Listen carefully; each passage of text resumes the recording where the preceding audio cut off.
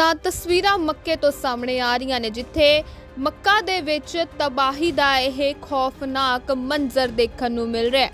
ਕਿਸ ਤਰ੍ਹਾਂ ਲੋਕ ਰੁੜਦੇ ਹੋਏ, ਨੀਚੇ ਫਿਸਲਦੇ ਹੋਏ ਜਾ ਰਹੇ ਨੇ, ਲੋਕਾਂ ਦਾ ਸਮਾਨ ਰੁੜਦਾ ਹੋਇਆ ਜਾ ਰਿਹਾ ਹੈ। ਤਬਾਹੀ ਦਾ ਇਹ ਮੰਜ਼ਰ ਦੇਖ ਸਾਰਿਆਂ ਦੀ ਹੀ ਰੂਹ ਕੰਬ ਉਠੇਗੀ। ਜਿਸ ਤਰ੍ਹਾਂ ਮੱਕੇ ਦੇ ਵਿੱਚ ਲੋਕ ਰੱਬ ਦਾ ਨਾਮ ਲੈ ਅੱਲਾ ਅੱਲਾ ਕਰਕੇ ਇੱਕ ਨਾ ਜਪ ਰਹੇ ਨੇ ਕਿ ਉਹਨਾਂ ਦੀ ਜਾਨ ਬਚ ਸਕੇ, ਕਿਉਂਕਿ ਇਹ ਜਿਹੜਾ ਮੰਜ਼ਰ ਹੈਗਾ ਹੈ, ਕਾਫੀ ਰੂਹ ਕੰਬਾਊ ਤੇ ਕਾਫੀ ਡਰਾਵਨਾ ਦਿਖਾਈ ਦੇ ਰਿਹਾ ਹੈ। ਚਾਰੋਂ ਤਰਫ ਪਾਣੀ ਹੀ ਪਾਣੀ, ਤੇਜ਼ ਬਿਜਲੀ ਤੇ ਤੂਫਾਨ ਨੇ ਲੋਕਾਂ ਦੇ ਵਿੱਚ ਡਰ ਤੇ ਸਹਿਮ ਦਾ ਮਾਹੌਲ ਬਣਾ ਦਿੱਤਾ ਹੈ।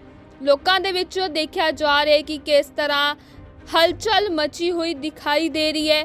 ਡਰ ਮਚਿਆ ਹੋਇਆ, ਤਬਾਹੀ ਦਾ ਇਹ ਮੰਜ਼ਰ ਵੇਖ ਕੇ ਹਰ ਇੱਕ ਦੇ ਰੂਹ ਕੰਬ ਉਠੀ ਹੈ ਤੇ ਤਸਵੀਰਾਂ ਜੋ ਸਾਹਮਣੇ ਆ ਰਹੀਆਂ ਨੇ, ਮੱਕਾ ਤੋਂ ਮੱਕੇ ਦੇ ਇਹ ਤਸਵੀਰਾਂ ਨੂੰ ਵੇਖ ਕੇ ਹਰ ਇੱਕ ਇੱਕੋ ਸੋਚ ਵਿੱਚ ਹੈ ਕਿ ਕਦੋਂ ਇਹ ਤਬਾਹੀ ਰੁਕੇਗੀ ਤੇ ਕਦੋਂ ਆਮ ਜ਼ਿੰਦਗੀ ਦੁਬਾਰਾ ਜੀ ਸਕਣਗੇ।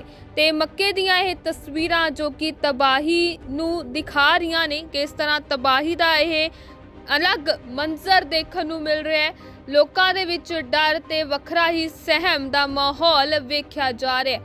ਹਰ ਪਾਸੇ ਪਾਣੀ ਦੀਆਂ ਹੀ ਧਾਰਾਂ, ਤੇਜ਼ ਧਾਰਾਂ ਤੇ ਲੋਕਾਂ ਦਾ ਸਮਾਨ ਕਿਸ ਤਰ੍ਹਾਂ ਰੁੜਦਾ ਹੋਇਆ ਦਿਖਾਈ ਦੇ ਰਿਹਾ ਫਿਸਲਦੇ ਹੋਏ ਉੱਪਰੋਂ ਦੀ ਲੋਕ ਦਿਖਾਈ ਦੇ ਰਹੇ ਨੇ। ਉਹਨਾਂ ਦਾ ਸਮਾਨ ਡਿੱਗਦਾ ਹੋਇਆ ਦਿਖਾਈ ਦੇ ਰਿਹਾ ਤੇ ਇਹ ਅਸਮਾਨ ਦੇ ਵਿੱਚ ਚਮਕਦੀ ਤੇਜ਼ ਬਿਜਲੀ, ਜੋ ਕਿ ਹਰ ਇੱਕ ਦੇ ਮਨ ਦੇ ਵਿੱਚ ਖੌਫ ਜਗਾ ਰਹੀ ਹੈ।